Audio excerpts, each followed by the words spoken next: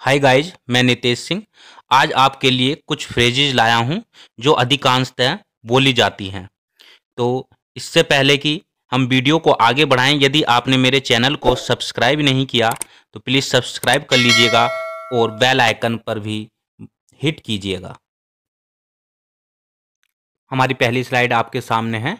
इसमें कुछ वाक्य दिए गए हैं, जो इस प्रकार हैं। बस बहुत हो गया, इसके लिए हम फ्रेज यूज़ करेंगे दैट्स एनफ नेक्स्ट है कोई बात नहीं।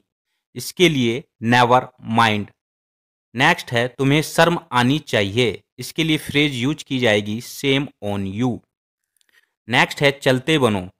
इसके लिए हमारे पास फ्रेज है ऑन योर वे नेक्स्ट मुझे लगता है।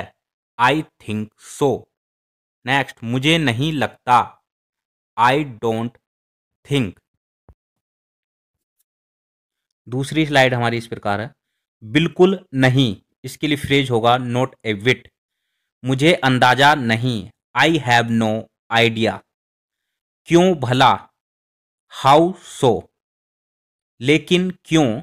इसके लिए फ्रेज होगा वट वाई मूर्खता मत करो। डोंट बी सिल्ली ऐसा लगता है। इट सीम्स सो ऐसा नहीं लगता है।